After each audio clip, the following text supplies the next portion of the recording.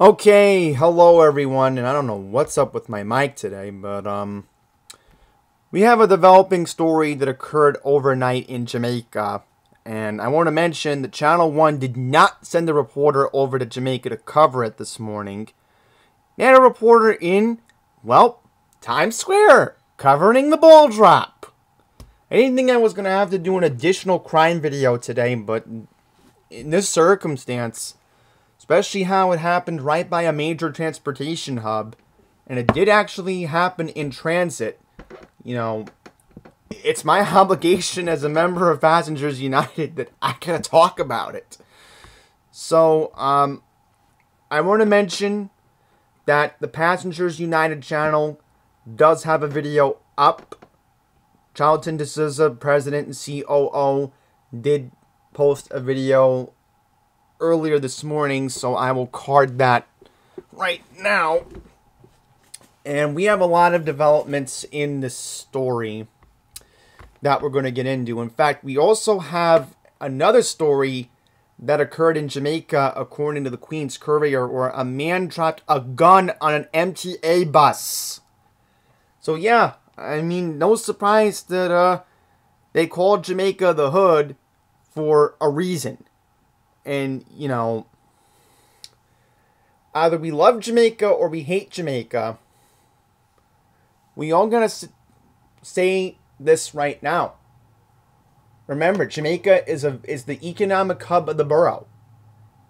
It's either Jamaica or Elmhurst, because you have a lot of retail, you have a lot of, you know, transportation.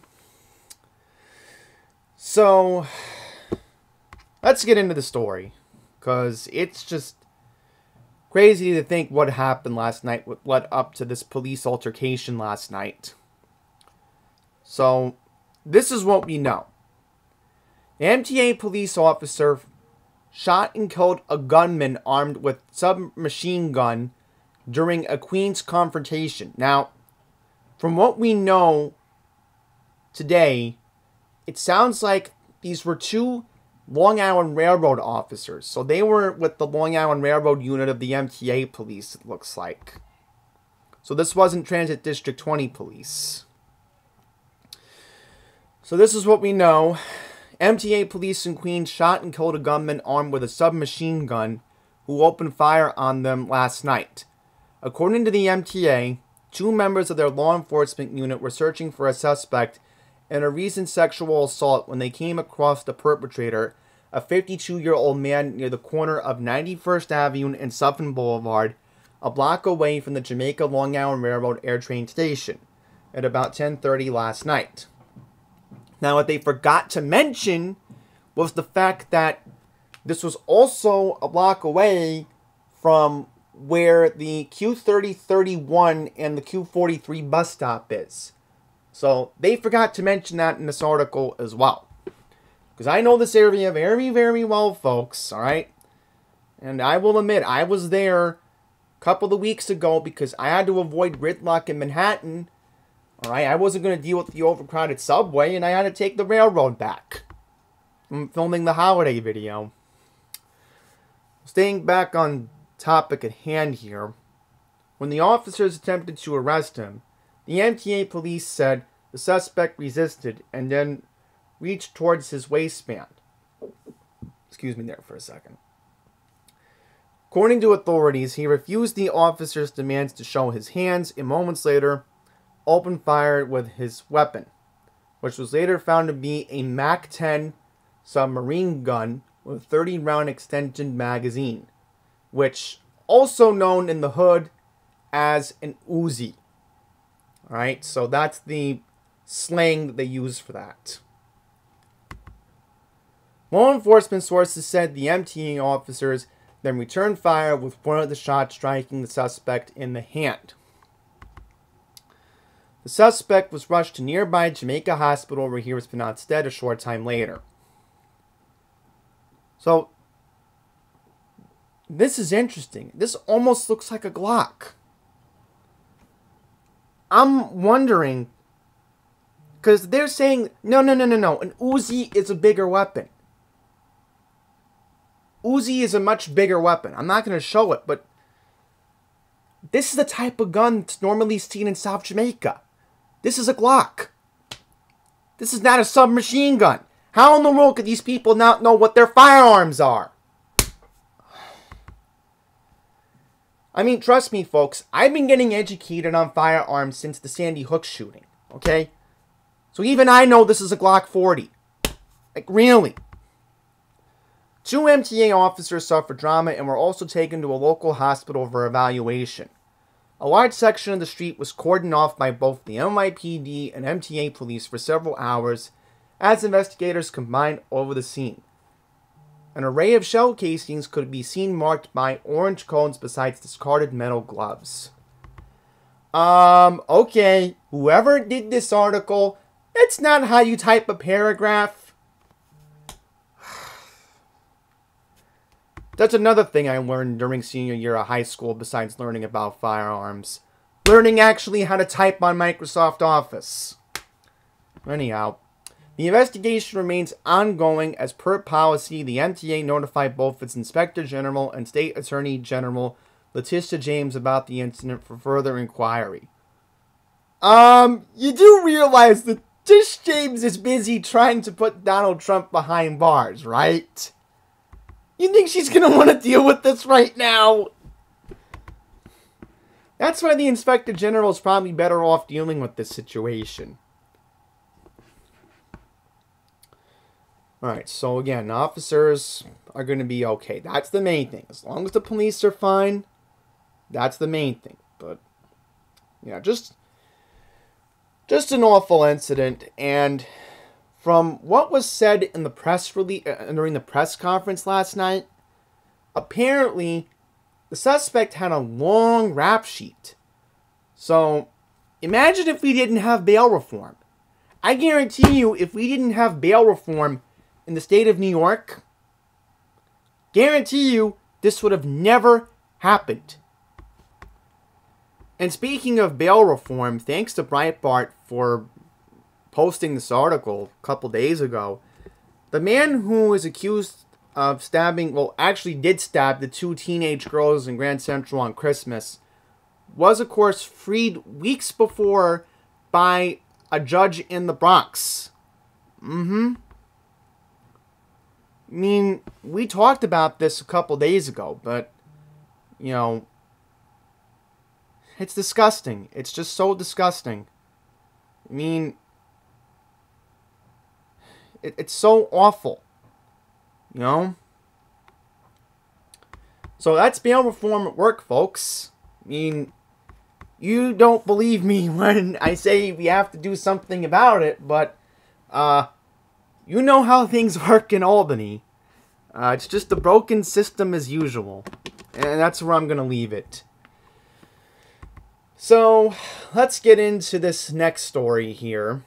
And then we're quickly going to take a look at NYC alerts on X to wrap up this video. So, what happened also in Jamaica, you may be wondering.